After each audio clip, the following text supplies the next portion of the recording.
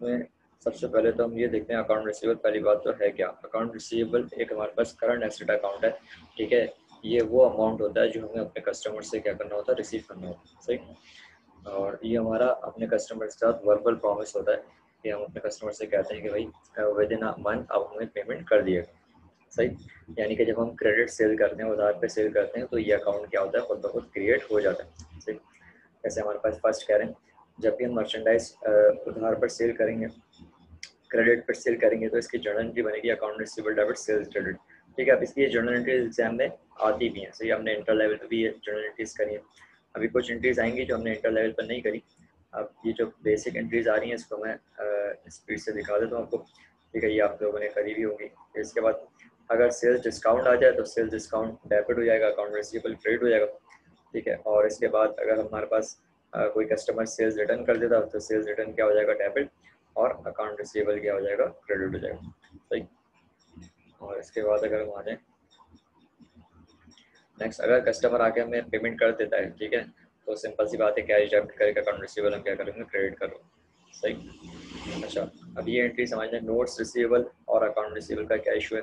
देखो notes receivable जो account है, वो रिटर्न प्रॉमिस है हमारा, ठीक है? और अकाउंट रिसीवेबल हमारा वर्बल प्रॉमिस अब अकाउंट रिसीवेबल का जो टाइम पीरियड होता है वो वन मंथ होता है और नोट्स रिसीवेबल का जो नॉर्मल टाइम पीरियड होता है वो थ्री मंथ्स तक का होता है। सही। अब एक कस्टमर आता है, कहता है कि भाई मैं आपको पेमेंट अभी नहीं कर सकता, एक मंथ हो गया टाइम टाइम मतलब अकाउंट रिसीवेबल का टाइम पूरा नहीं वाला होता है। और वो कहता है कि मैं एक मंथ के अंदर पेमेंट नहीं कर सकूँगा। तो वो क्या करता है, अपने जो वर्बल प्रॉमिस होता है, यानी अकाउंट रिसीवेबल उसको कन्वर्ट करवा लेता है किसमें रिटर्न प्रॉमिस में, यानी नोट्स रिसीवेबल में। सही तो हम एंट्री करते हैं notes receivable debit account receivable credit ठीक है? अगर आपको कहीं पर कोई बात नहीं समझ में आ रही हो तो आप मुझे चैट में पूछ सकते हैं, या फिर अगर आप माइक ऑन करके भी आप मुझे पूछ सकते हैं रोक कर, ठीक है? अगर आप नहीं रोकेंगे तो मैं तो फिर बोलते ही जाऊँगा और समझा दूँगा बाद में पता लगेगा कि आपको समझ में कुछ भी नहीं है सही? तो आप मुझे रोक दिएगा माइक ऑन कर लें और, या फिर चैट में मुझसे पूछ लिएगा अभी तक जो डिस्कशन हुई है, आपको समझ में आ गया आप लोग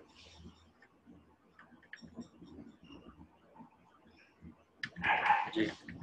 अभी तक जो जर्नल एंट्रीज मैंने आपको बताई वो आपको समझ में आ गया। आप लोग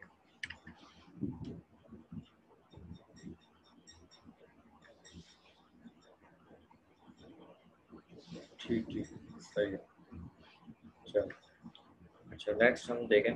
तो नेक्स्ट आ रहा भाई, अगर कस्टमर का अकाउंट हमारे पास फॉर एग्जांपल कोई कस्टमर है और उसका अकाउंट हमारे पास नेगेटिव शो हो रहा है। नेगेटिव शो होने का मतलब है कि हमने उससे एडवांस पेमेंट ले लिया और वो रिसीवेबल जो अकाउंट रिसीवेबल वाला बैलेंस है वो नेगेटिव शो कर रहा है। मतलब क्रेडिट साइड शो कर रहा है। अक्सर एग्ज़ाम में क्वेश्चन आता है। इस तरीके से वो लिखता है sentence customer account showed credit balance एक कस्टमर है, उसका अकाउंट जो है क्रेडिट बैलेंस शो कर रहा है। तो इस बात का मतलब ये है कि वो कस्टमर हमें एडवांस लेके जा चुका है। तो इस इसकी हम एंट्री अपने पास का रिकॉर्ड कर होते हैं अकाउंट रिसीवर डेबिट और एडवांस फ्रॉम कस्टमर क्रेडिट यानी हमारे लिए क्या बन चुका होता है? लाइबिलिटी बन चुका होता है। सही। So, इसके बाद आ जाते हैं entry to record write off customer ठीक है? देखो भाई जब हम अकाउंट रिसीवेबल की वैल्यूएशन करते हैं तो हमें होता है डाउटफुल हमारा डाउटफुल क्या होता है कि भाई जितने कस्टमर्स ने हमसे उधार पर खरीदा है ज़रूरी नहीं है कि सारा का सारा क्या हो जाए रिसीव हो जाए। उसमें से फाइव परसेंट टू परसेंट या वन परसेंट हमारा डाउटफुल होता है। सही तो हम क्या करते हैं, अगर कोई कस्टमर हमें पता लग जाएगा भाई इस कस्टमर से पैसे हमें नहीं मिल रहे तो हम उसका अकाउंट क्या करते हैं राइट ऑफ़ कर दें अब राइट ऑफ़ करने के लिए हमारे पास दो मेथड है। एक कहलाता है डायरेक्ट राइट ऑफ़ एक कहलाता है अलाउंस मेथड में। अलाउंस मेथड अच्छा नॉर्मली हम अकाउंटिंग अकाउंटिंग के प्रैक्टिस करते हैं तो अलाउंस मेथड यूज़ कर रहे होते हैं। आपको याद होगा बेटेड एक्सपेंस की जब एंट्री हम बनाते हैं हमको उस वक्त बताया जाता है भाई, जब भी बेटेड नज़र आए तो ये एंट्री करनी है bad debt expense debit allowance of bad debt credit ठीक है? अब वो क्यों करनी होती है? वो इसी वजह से करनी होती है, क्योंकि हम अपना प्रोविज़न बना रहे होते हैं कि भाई, इतने परसेंट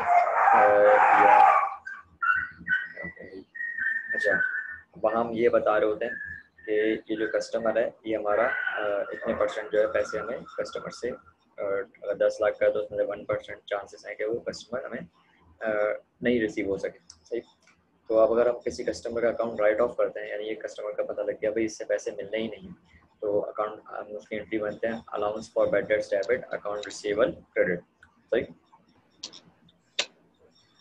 अच्छा इसके अलावा हमारे पास entry to record recovery for example जिसका अकाउंट आपने राइट ऑफ़ करा था, जिस बंदे का अकाउंट आपने राइट ऑफ़ करा था कि भाई इस कस्टमर से पैसे हमें नहीं मिलने वो आपको आ जाता है आपके पास सही? तो उसके लिए एंट्री करते हैं अकाउंट रिसीवेबल दोबारा क्रिएट करते हैं। सही मतलब जो हमने राइट ऑफ़ की एंट्री करी थी, उसको बैक करते हैं। Account receivable debit allowance bad debt credit अब क्योंकि उसने आपको पैसे दे दिए तो कैश डेबिट अकाउंट रिसीवेबल क्या हो जाएगा? क्रेडिट हो जाएगा। सही? अच्छा इन दी एंड जब बेडेड एक्सपेंस हम कैलकुलेट करते हैं, उसके एंड हमें मालूम है? Bad debt expense debit allowance bad debt हम क्या कर देते हैं? क्रेडिट कर देते हैं। सही? अब आ जाते हैं हम बेडेड एक्सपेंस की कैलकुलेशन पर। देखो डेप्रीसिएशन एक्सपेंस की भी हमें पहले क्या था? जब इंटर कॉमर्स में होते थे हम तो हमें कहा जाता भाई डेप्रीसिएशन जहाँ भी नज़र आए तो एंट्री कर देनी है आपने depreciation expense debit allowance for depreciation credit अभी डेप्रिसिएशन एक्सपेंस आता कैसे? वो पूरा अपने डेप्रिसिएशन का टॉपिक पढ़ा डेप्रिसिएशन एक्सपेंस की कैलकुलेशन हमने सीखी और फिर हमें समझ में आया अच्छा डेप्रिसिएशन कहाँ से आया? इसी तरीके से बेटेड एक्सपेंस जब हमने इनिशियल क्लासेस में पढ़ा था तो हमने हमें बताया गया था कि भाई जब भी बेटेड एक्सपेंस आपको कहीं भी नज़र आए, इसकी एडजस्टमेंट आपको नज़र आए तो आपने एंट्री करनी है bad debt expense debit allowance of bad debt credit अब ये बेटेड एक्सपेंस कैलकुलेट किस तरीके से होता है, आज हम इसको देखेंगे। सही बेटेड एक्सपेंस को कैलकुलेट करने के लिए हमारे पास दो मेथड है। एक मेथड कहलाता है इनकम स्टेटमेंट अप्रोच और एक मेथड कहलाता है बैलेंस शीट अप्रोच सही? अच्छा इनकम स्टेटमेंट अप्रोच में हम जो बैडेड एक्सपेंस कैलकुलेट करते हैं, उसका क्राइटेरिया क्या होता है? उसमें हम कहते हैं कि भाई जितनी भी आपने नेट क्रेडिट सेल्स करी हैं, जितनी भी आपने नेट क्रेडिट सेल्स करी हैं, उसका कुछ जो भी परसेंटेज वो सवाल में बताता है इतने परसेंट डाउटफुल है। वो परसेंटेज उस पर क्या कर दो अप्लाई कर दो सही। तो हम कैलकुलेट कर लेते हैं। सिंपल सी कैलकुलेशन मैं दिखा देता हूँ आपको। देखो यहाँ पर computation of bad debt expense income statement approach है ठीक है? अब लाजमी सी बात है टोटल क्रेडिट सेल्स है हमारे पास। हमें अगर नेट क्रेडिट सेल्स चाहिए तो हम क्या करेंगे? रिटर्न और डिस्काउंट को माइनस कर देंगे। तो टोटल क्रेडिट सेल्स है, उसमें से सेल्स रिटर्न और डिस्काउंट को माइनस कर दिया। हमारे पास आ गया नेट क्रेडिट सेल्स अब जो नेट क्रेडिट सेल्स है, उस पर हम अपना परसेंटेज लगाएँगे। ये परसेंटेज नॉर्मली सवाल में क्या होता है? आपको गिवन होता है। इस परसेंटेज को कैलकुलेट करने के लिए आपके पास कोई मेथड नहीं है, क्योंकि ये हमारा अपना एस्टिमेट होता है कि भाई हम अपने पास रिज़ल्ट से देखते हैं कि भाई कितने परसेंट हमारे कस्टमर जो है वो बैड डेट्स हो जाते हैं ठीक है? तो हम उस उस पास रिजल्ट्स को सामने रखते हुए अपना परसेंटेज क्या करते हैं? डिफाइन कर रहे होते हैं। सही? तो जो भी हमारा नेट सेल्स आएगा नेट क्रेडिट सेल्स आएगा, उस पर ये परसेंटेज अप्लाई करेंगे। हमें पता लग जाएगा बैड डेट एक्सपेंस सही। अब जो बैड डेट एक्सपेंस आपके पास आ रहा है ठीक है? बैड डेट एक्सपेंस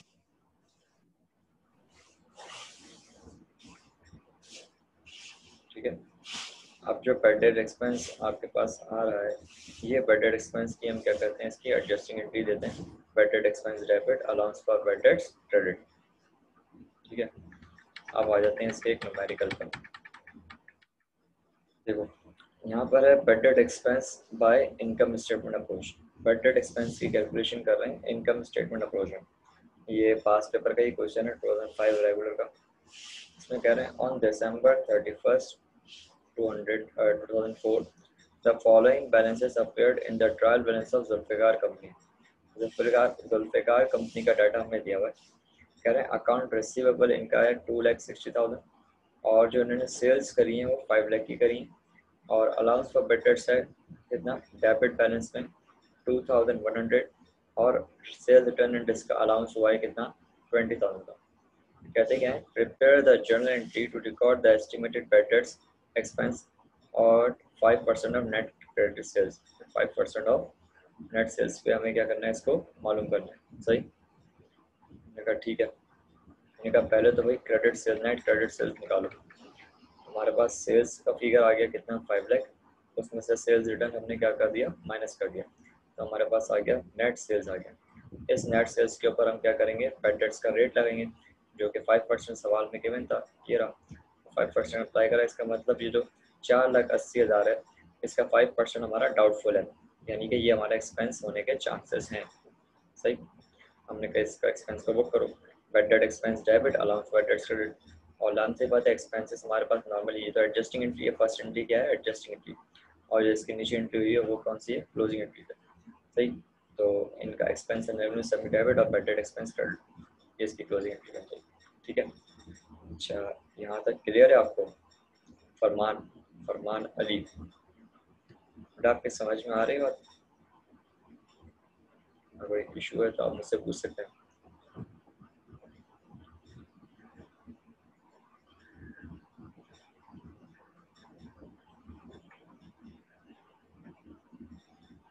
हेलो फरमान आवाज़ आ रही है आपको?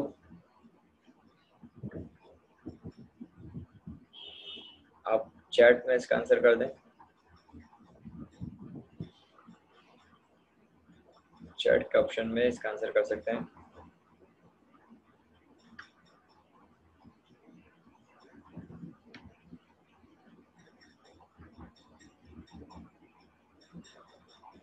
हेलो फरमान आवाज़ आ रही है आपको?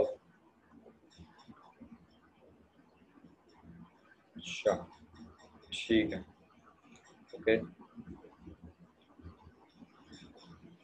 नेक्स्ट ठीक है अच्छा नेक्स्ट है हमारे पास बैलेंस शीट अप्रोच तो बैलेंस शीट अप्रोच का हम भी यहीं तक रहने देते हैं। इनकम स्टेटमेंट अब आपका काम ये है कि पास पेपर में इनकम स्टेटमेंट अप्रोच से रिलेटेड जितने वैल्यूएशन ऑफ़ अकाउंट रिसीवल के क्वेश्चन आए हुए हैं, अब वो आप कर सकते हैं, ठीक है? नॉर्मली टेन मार्क्स में ये इन जो हमारे पर इनकम स्टेटमेंट अप्रोच है, इसका क्वेश्चन आ जाता है, सही? और बाकी जो बैलेंस शीट अप्रोच है, वो थोड़ा सा डिटेल है, ठीक है? बाकी तो और कोई इशू नहीं है इसमें। बहुत आसान क्वेश्चन होता है हर साल ट्वेंटी मार्क्स में आ रहा होता है, सही? तो इसकी प्रैक्टिस कर लें। फ़र्स्ट टॉपिक हमने जो कवर करा था, वो हमारा था कौन सा? इन्वेंट्री वैल्यूएशन का। ठीक है, वहाँ से भी ट्वेंटी मार्क्स कवर होते हैं। और ये हमारे पास वैल्यूएशन ऑफ़ अकाउंट रिसीवल है। सही, यहाँ से भी हमारे पास ट्वेंटी मार्क्स का पेपर बन रहा होता है। तो आप कोशिश करें कि इन दोनों टॉपिक्स को अच्छे से प्रैक्टिस करें। पास पेपर के जो क्वेश्चन हैं, उनको सॉल्व करें। जब तक आप पास पेपर के क्वेश्चंस को सॉल्व नहीं करेंगे तो भाई आपको क्वेश्चन एग्ज़ाम में क्वेश्चन करने के लिए कॉन्फिडेंस नहीं आएगा। कि आपको ये, आप श्योर नहीं हो सकते कि ये टॉपिक आपको हंड्रेड परसेंट आ गया। सही तो इसके लिए बेहतर ये है कि जो टॉपिक हमारे यहाँ पर क्लास में कवर हो जाए, उसके पास पेपर के क्वेश्चन आप करना स्टार्ट कर दें। और इन केस अगर आपको कोई प्रॉब्लम होती है तो आप मेरे, आपके पास मेरा व्हाट्सएप नंबर है, उस पर आप मुझसे कांटेक्ट करके पूछ सकते हैं। सही? इसके अलावा अगर आपने मेरे अब तक जो लास्ट लेक्चर हुए हैं, यानी इन्वेंट्री वैल्यूएशन के टॉपिक के लेक्चर्स अगर आपने अटेंड नहीं करे तो आप, मैंने जितने लेक्चर्स हमारे इन्वेंट्री वैल्यूएशन के हुए थे वो सारे एज एट एस मैंने यूट्यूब चैनल पर अपने अपलोड कर दिए हैं। तो आप एक काम करें, वहाँ पर जो मेरा यूट्यूब चैनल है, मोहम्मद साद बहरीन के नाम से उसको, उसमें जाके आप सब्सक्राइब कर देंगे तो आपको और बेल आइकन पे क्लिक कर देंगे तो होगा ये कि आपको कोई भी न्यू लेक्चर अपलोड होगा तो आपको नोटिफिकेशन मिल जाएगी। सही? और इसके अलावा कि आप वहाँ पर जो प्रीवियस क्लासेस अगर आपने नहीं अटेंड करी तो उसके लेक्चर्स भी आपको मिल जाएँगे। ठीक है? यहाँ तक क्लियर है? मेरी बात समझ में आ गई? आज हमने इनकम स्टेटमेंट अप्रोच को है, वो डिस्कस कर लिया।